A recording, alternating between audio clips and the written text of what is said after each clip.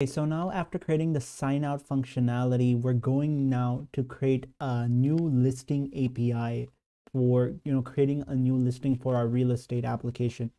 So we could close all these things out using this close all, collapse this using that.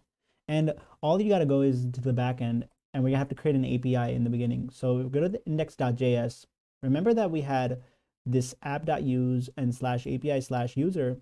We have also app.use slash API slash auth we're going to create a new route that's going to go app.use and it's actually going to go slash API and then we're going to say slash listing.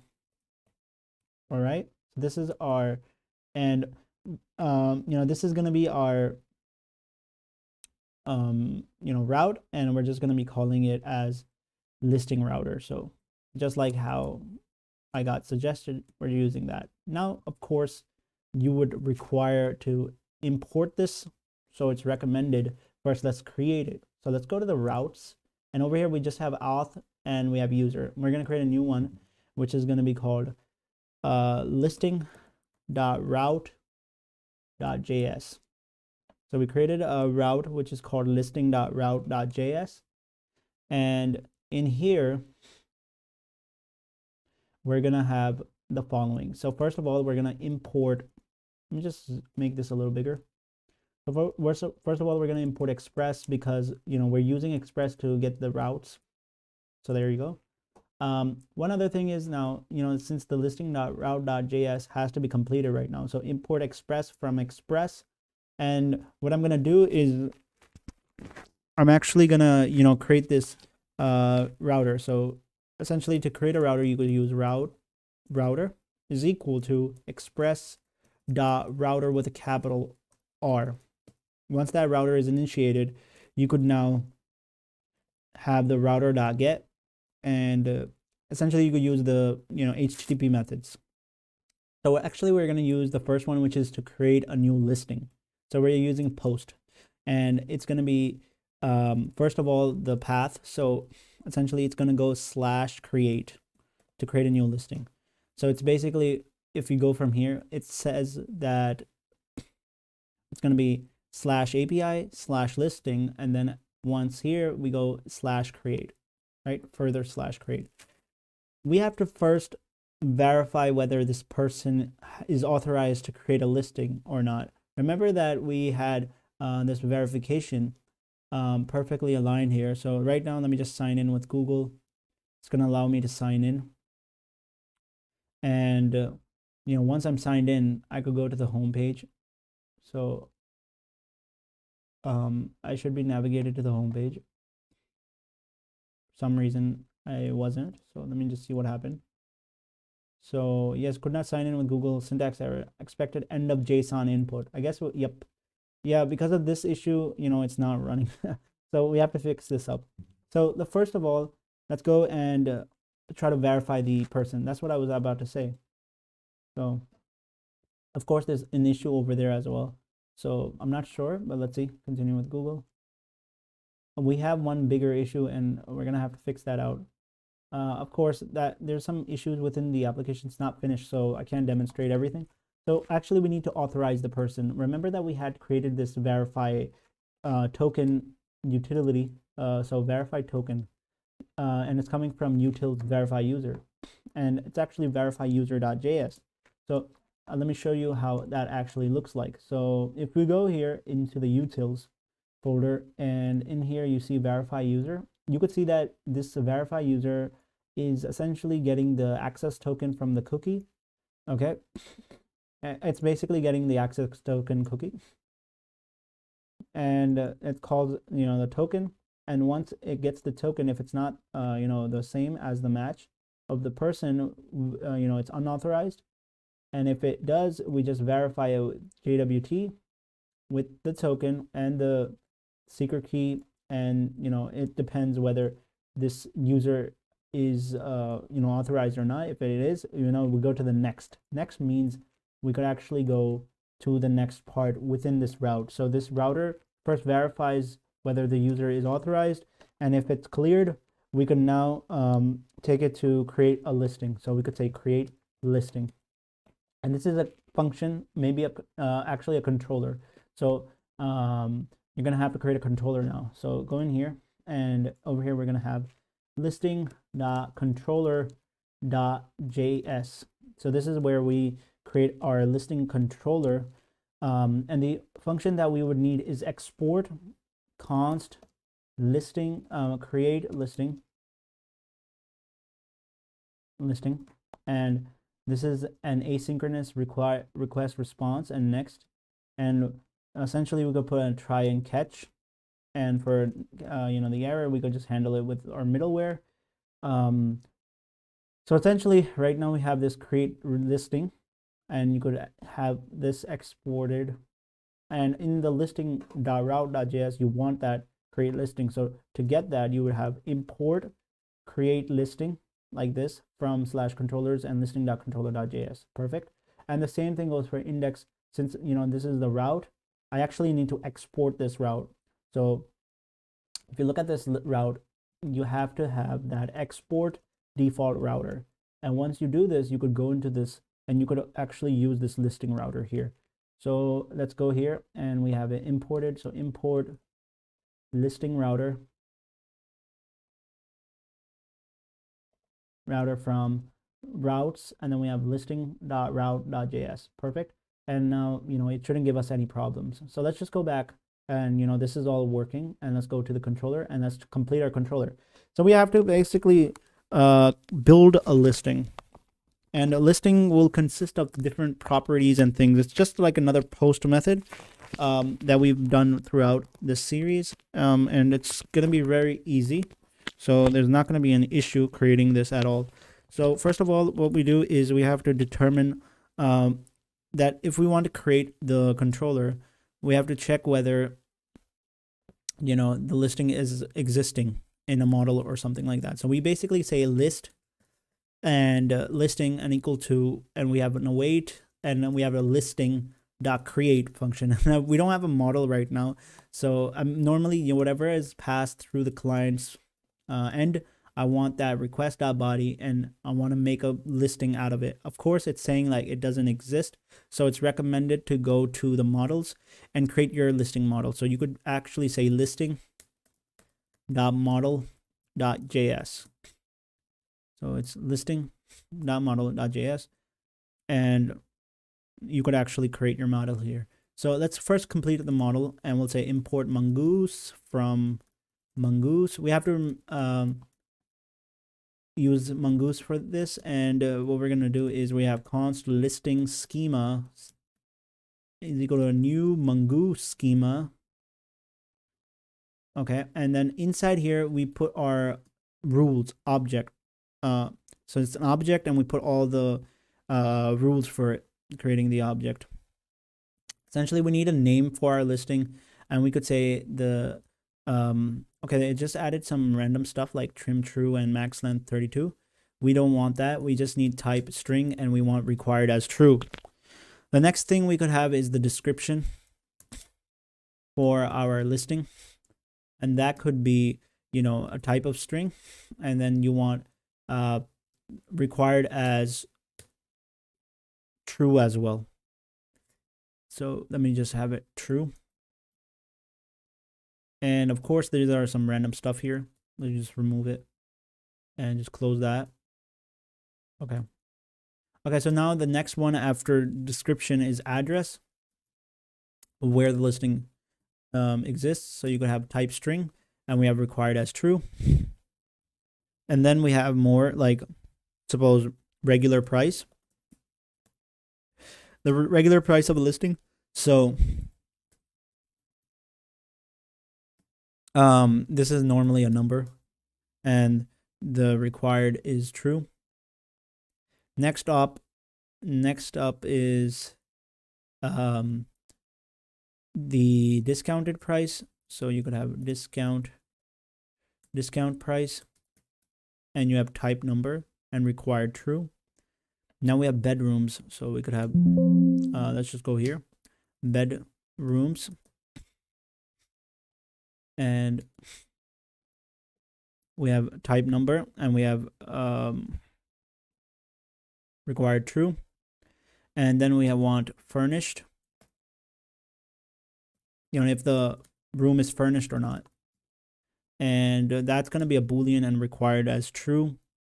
Now we need a type, whether, you know, it's a rent or sale. So this is also, now this is not going to be, it's actually going to be a string type, whether it's rent or sale. So we have string and then required true. It just adds random stuff over here, but ignore that for now. Um, would have offer. So we would have offer, you know, if it has like any discount or something, and we'll have that as uh type as boolean. And you know, required as true. Okay, great. So everything looks good. And uh, you know, we keep moving forward.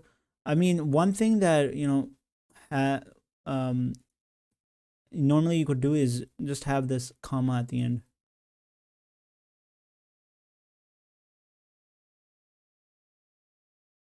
I think that's okay. Yeah. So let's just keep going back down. And uh, then we have more things like we have image URLs.